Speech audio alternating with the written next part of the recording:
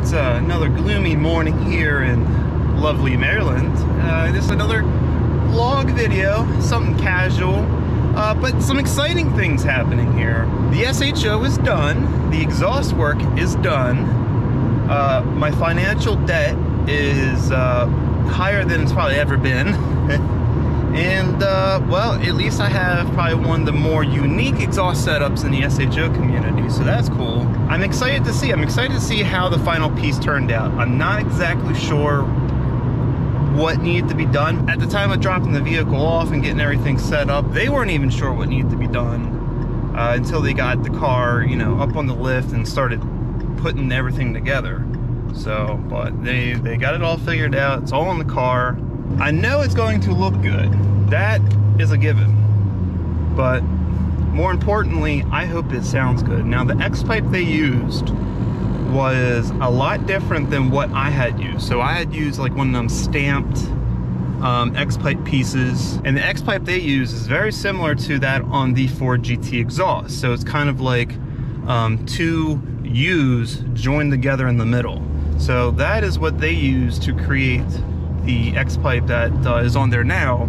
And so there's a lot more separation between the two um, pipes than there was with the stamped piece where it just kind of like blends into this open space in the pipe and you know figures out which side. So it should it probably will change the sound a little bit.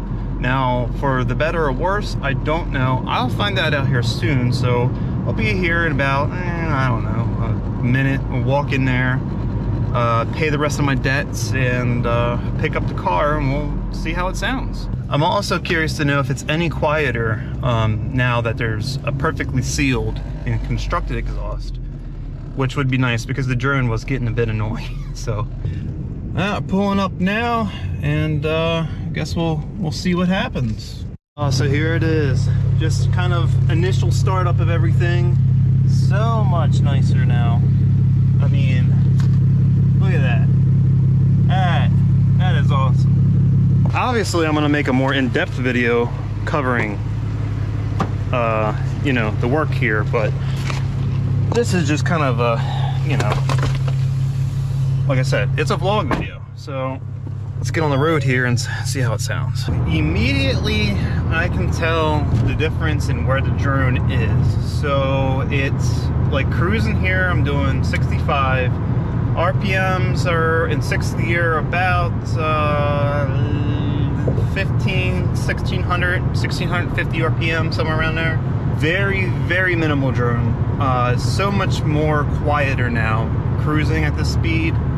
I noticed the drone does occur uh, right around 2300 RPM. That's where it's the loudest. But that's not bad because really the only play, the only time you get like at highway speed, the only time you get the RPMs up that high if you're doing like 80 plus, which not usually I'm doing it any given, you know, for long stretches of time. So, uh, yeah, like cruising is definitely seems a lot better now. So that's good. That's real good. Um, and there is seems to be a change in the resonance. It sounds good. Uh, there definitely is like some, there's a more of a burbly resonance, kind of like the uh, the sound I'm I'm chasing. So it's more or less just ever so slightly more closer to that sound than it was before. Um, but there are definitely a lot of tweaks we need to take care of uh, to really complement that tone. Obviously, that'll be taken care of in the midsection, and possibly uh, I'm going to be working on like uh, some equal length downpipe, three inch downpipes in the future with uh, you know the the midsection as well with custom resonators or very specifically chosen resonators or uh, some type of setup maybe do like a uh, uh, resonance chamber or something to tailor the frequency of the exhaust just right uh, so this will definitely be a one-of-a-kind tuned exhaust setup not going for loud here we're going for some volume uh, with a very unique and uh, refined sound.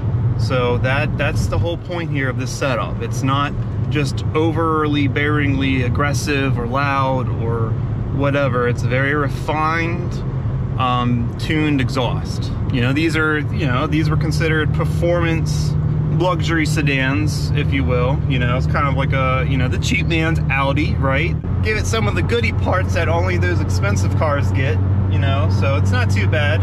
Obviously, because of the money I put out now for this piece being a 100% custom piece done by a shop, um, that uh, you know it's it's not your it's not a Jiffy Lube. You're not in and out, and it's not uh, 49.99 fee. You know, we're we're we're talking about four figures worth of money spent to have this setup done. In a way, you know, I'm definitely loving the idea that I'm, you know, being the pioneer of this. It's really cool. I really love that fact. I always want to be different, and I always want to be do something like this, like be that guy to create something um, that's different from the rest, you know? And there's always a possibility, if I can get the system just right, that I could have it produced and have other people order it and, and have it a bolt-up system for their cars. This is kind of like being the pioneer. It's also doing the R&D for a possible full exhaust system that you'll be able to get for your car. So yeah, it's an investment thing probably at that point. I can't guarantee what the future will bring all I know is that other than spending the money, I have probably one of the most unique exhausts now for the SHO, um, and probably one of the more unique tone in the SHO community. I also am having extreme amounts of fun with it. So that's the most important part. You know, these cars would be nothing if, you know, what's the point if you're not having fun? And it's just, I'm having fun. I'm having fun, and that is the main goal to all of it sometimes my brain just doesn't stop. It just keeps on going. I don't, I, I guess it's a good thing, you know. It's definitely cost me a lot of money. this is just, you know, the casual, talky, you know, update type vlog video. Nothing special here. Um, but if you did watch it, then you at least get to see that there is going to be a very exciting video um, coming up in the near future about the exhaust update here on the SHO. So Obviously, for those who are interested, please keep a lookout. There will be a video within the next week or so. Um, bear with me, doing everything. I just started a new job, so it's really hard now to have to juggle the YouTube with a full-time job. You know, it's not easy. It's really not. Anyone who tells you YouTube is easy, they're just, they're ignorant. they're straight up ignorant. It's one thing to just point a camera at something and then call it, call it content but, you know, I do my best to try to create entertaining videos, create videos I know I would want to watch. Um, not to try to create boring videos. I try to create as quality content as possible. And I try to do my best to, to, to be different and set myself out there. You know, I can spend anywhere from an hour minimum to three hours editing a video, you know, trying to do special things just to make the video more appealing. So it takes a lot of time out of your normal day. And when you only got two days off a week and there's other things in life you need to take care of, it's really hard to, to try to manage doing YouTube and everything else. And the thing is, at the end of the day, while my goal is to be able to monetize the channel, I actually really enjoy doing this. It's really fun. It's really fun to be able to kind of connect with people. It's really fun to um, show my, my passion and share all my ideas and projects um, with the world. So it's really cool. There's a lot more benefits to YouTube than just the monetary um, potential of it. So it, with that within itself definitely makes it a, um, a humbling experience because when you take the money out of it, obviously if you're if you're only doing it for the money, then you're doing it wrong. I, you know, I've spent so much time watching YouTubers and just to, you know, not even be one well known perhaps, but just to be able to do what they did, um, do the experience what they experienced. If anything, that's what I want the most out of this. I would love to be able to do things in life that are otherwise not really obtainable. Um, you know, just I there's so many, just even your smaller YouTubers like um, Stang Mode you know, I watched his channel from when he was very, very small, when he had his EcoBoost Mustang, and he was called EcoBeast. You know, I watched him. At the time, his content wasn't like the most exciting. It was refreshing to see an upcoming YouTuber not sit there and be the typical YouTuber. Hey, hey, what's up everyone? Blah, blah, blah here. And I'm gonna show you my piece of crap Honda Civic, blah, blah, blah. I'm gonna go do stupid things. Thanks for watching, yada, yada, yada. You know, you know, he was very humble about his videos and I respected that. And that's what, that's what gained my my interest and that's what I, you know, I subscribe to his channel and I've been a subscriber ever since. So, you know, and he's come up in the world now where he's doing car giveaways, you know, he's definitely on the next level. And the things he's experienced um, over the journey, you know, he was able to go to the Ford factory and build his GT500. He was able to, he, he met the CEO of Ford, Jim Hackett. It's crazy, you know, and it, it was the YouTube channel that got him those experiences that gave him the opportunities to do those things that otherwise he probably would have never have done. Um, you know, anyone can be a car enthusiast. Uh, and, and there's so many car enthusiasts out there, but it, it takes a really dedicated person to push, you know, the passion and share it on YouTube and to do it right. Um, you know, while retaining an audience, it's it's tough. It really is tough. So once again, anyone out there who says this is easy, please reconsider everything I just said. Ask yourself then, is it really easy? Is it really easy? No. Can it be easy? Yes, it, it can be easy. However, I'm sure to create an easy process would make a compromise on the quality. It's always the quantity over quality thing, right? I choose to do more quality videos the best I can you know, I'm not a professional video editor. I'm learning everything. I did, however, know audio editing um, for many years now, being in the music. So learning the video editing is not, you know, it's not super uh, foreign to me, but it's definitely a learning curve. I'm getting much better at it. I'm getting much more quicker and fluent my videos, my edits. So it takes less time now for me to put together a more solid video. But that has come with time that has come with learning and has come with the patience to sit there and try. And no matter what, I'm always going to upload a video. I've received so much just negativity over some of the videos, some of my early videos that are actually some of my most popular videos. Like, um, is the 2010 the 2019 SHO a good car? You know, that video is what, eight, over 8,000 views now?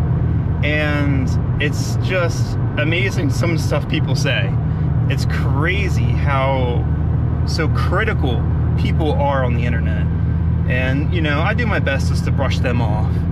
And, uh, but sometimes it does get to you and it, it kind of kills your morale. It kind of kills your confidence. Not only do you have to discipline yourself to keep pushing and keep trying, but you have to be uh, mentally strong and emotionally strong as well to deal with the toxicity that is the internet.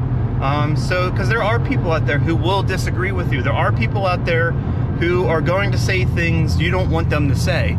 It's just how it is. And I am open to free speech. I completely welcome it.